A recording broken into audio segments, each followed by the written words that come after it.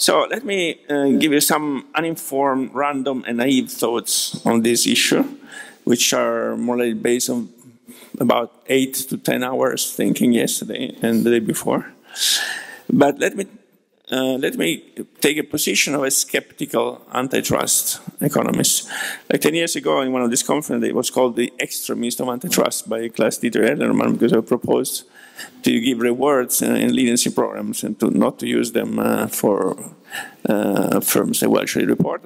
Now, I, after 10 years and some experience in procurement agency, I tend to be a bit skeptical of the way antitrust uh, think at the markets because there's very strong focus on competition. But competition is a tool to get outcomes, so it's not always good. It's one tool, it's very good sometimes, it's very bad in other times. So contracts are instruments to eliminate competition. And we use contracts because sometimes competition is very bad. So let's keep in mind that competition is not an objective, it's a tool, okay? So let's go on this premise. Let me go to, well, let's see, the first point. So I, am this slide is, I'm looking at this issue from the consumer's perspective. I'm a high, strong consumer of this uh, uh, price search mechanism. I don't delegate my trips uh, to any secretary. I do it myself. I want to look at the prices, hotels, flights, and everything. So a big issue of this debate is the, the price comparison function, right? So, the, for example, the, the, the, UK case was on price comparison websites. Okay, then they also let you buy insurance, motor insurance, but essentially it was the essential function was price comparison. Okay, for the hotel booking cases, of course, this platform does they do more than allow you to compare price. You can look at location, you can look at uh, uh, the different classes of the hotels, features availability, which is important, and also price, okay? And then you can book. So as long as the price component is important, okay, if you go to this, in these platforms to search for the good price, you want this price to make sense. So the price they actually compare should be the lowest price. Otherwise, you're not, you're losing your time. Okay? So in some sense, these PPAs are an intrinsic part of the value of the service that this price comparison website are offering. If I go to a price comparison website and I don't know whether this price make any sense because another price comparison website has other prices from the same companies, then you go on their page and you have another price and they, I call and they give another price. These platforms don't offer any service anymore, okay? So I think this perspective that PPAs may be a fundamental part of the value of the service offered by the platform seems not to be discussed in this debate, okay? And I think it's crucial, at least for me as a consumer, this is crucial. If I use one, I would like to have one place where to go and book my, my hotels. And when I look at prices of that uh, uh, platforms, I would like to be sure that the price I see there are the lowest price on the market. Okay? So I think this is something we should take into account when we discuss this issue. So that was my one thought. Let's talk about NAPAs. Uh, so, well, yes, you know, of course, uh, if suppose you know, if suppose this platform invests into a nice matching service, a lot of pictures on the hotels, uh, feedback system, price comparison, and so on and so forth. Of course, it's immediate. I mean, I still do it. You know, I go to booking and look for the hotel. Maybe there is some availability and some prices. Then I go immediately to check on the hotel homepage. I do it all the time. And usually the price is similar. Now I know, I learned that if I call, it might actually not be similar anymore. Okay, so now I will call, okay? So this goes to, so the question is, what is this narrow thing doing after all? No?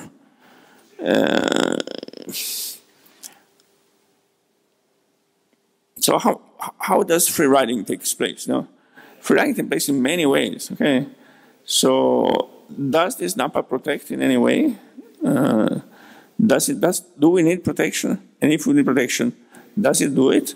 I'm a little bit skeptical if instead of you know going on the homepage, I, will, I call, then we have solved any protection problem.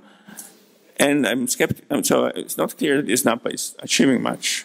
Uh, and Paolo said it's not even clear that something should be achieved.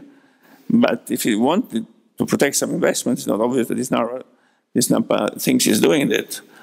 Uh, so one, one example, you know, uh, the NAPA says if you, you cannot reduce price on your homepage as an hotel, but you can reduce price on other platforms. But then, you know, if there's a, your daughter that puts a nice homepage on Google site for free, that puts name of two hotels, you, know, you call, you know, instead of having the, homepage of Hotel A, you call it homepage of Hotel A and B, then they can reduce price, okay? Because it's a platform and not a narrow thing. So not clear that this is doing you know, what we want. It's not clear that, this, that what we want is protecting investment, but it's also not clear that the narrow thing is protecting investment at all, given you can uh, undo the effect in a simple way.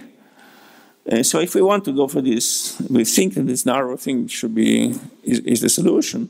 We should define much more careful what platform means and what narrow means, because otherwise it will be very we're pushing people to create two, two hotel platforms, which is not really something efficient, in my view.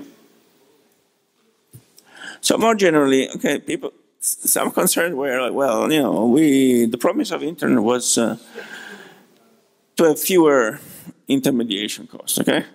And now it seems that we're paying a lot of fees to booking and other intermediaries, which seems to be on the other way around. Well, I would be careful to this, with this argument, because it's not that these platforms are intermediary. I mean, if the function is price comparison, that's a different function. Yeah? So a sales channel does not price comparison. It's trying to sell one product with one price. Okay, and um, a platform allows us to compare and to choose in a way that uh, standard channels did not allow. Think about how we booked hotel before. We go to an agency, and then you have to pay all the personnel of this agency. This agency had long-term contracts with a bunch of hotels, three, four for each town, and then the option was they would come back with two options to us, okay? Now we go on booking and find like 25 options, 50, and so on. So there is an issue, in my view, of excess intermediation. There is an issue of centralization versus intermediation. If you think about, you can make it a parallel to with e-procurement, okay?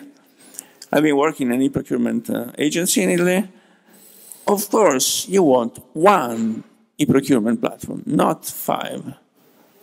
If, if you want price transparency, if you believe that transparency in competition is good, you want one place, okay, not more. If you ask firms that are, they are building e-procurement platforms, firms that work in all over the continents in many different product lines, they always centralize and have one procurement conference, okay?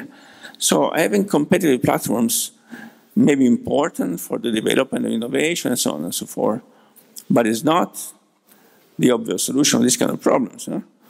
In principle, in principle, if we could actually uh, you know, guarantee that uh, innovation, the innovation the markets generates could be actually introduced uh, publicly, the best solution here would be a, a single in, international public platform, okay?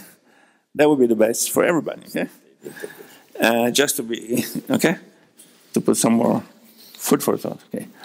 So what about the foreclosure and price increase concern? So uh, the story goes here that if incumbent platforms use PPA, then entrants or smaller, no, they, they cannot go in, they cannot enter with a lower price profile because they are forced to keep the price up. Well, what if, what if you change name and call it bonus? So a, a new platform can enter with the same high price of the old platform and then tell their buyer, if you buy from me, you'll get a bonus of 10% of what you buy. And so they give back some of the price. Okay? It's not difficult. No? Is it forbidden? No, it's not forbidden. So the PPA are a relationship between the platforms and the supplier. So they don't constrain the action of a new platform. So any platform can come in, stick to the PPA agreement, Now get the high price that uh, the incumbent is forcing, and then tell to the, to the buyers, well, if you come to my platform, I'll give you back 10% of what you pay as a bonus. So where's the problem? I don't see the problem, okay? So, I don't know, if, if entrants cannot figure out this possible entry strategy, they better don't enter because they're probably not smart enough and make a mess in the market, okay? That's, uh, maybe I'm, I'm naive, but you know. Uh, finally, what I think is somewhat less I mean, I, now I talk about a more general perspective. These are cases, specific cases for some markets. So we know how many hotels. Hotels are many. They are dispersed. So we think that price transparency on platforms is good. It tends to reduce uh, prices, uh, facilitate comparison, facilitate reputational mechanisms, and so on and so forth. But you know, this is these are general. Uh, there are general papers out there. I saw at least three or four micro theorists working on this and they have a general attitude to look at these PPAs, okay? And they don't look in this paper at possible different business models. And more importantly, they don't look at market structure on the supply side. And that's crucial because if you think about market transparency, so these platforms are create, creating price transparency. Now we know that price transparency is a double-edged sword, okay? If you have a very dispersed supply side, they, that probably increases competition, okay? If you have a concentrated supply side, think about editors. And yeah, we know very well from Stigler that price transparency can be very harmful to competition because it would facilitate collusion, independently whether they do it on purpose or afterwards. And I think this issue, you know, competitive effects of, uh, of, uh, of price transparency is a bit should be taken into account, at least in the general debate on these PPAs, not in the single cases, because in the cases we know how competitive is the supply side uh, of the market. And then I stop here with the provocation. So thanks for being here.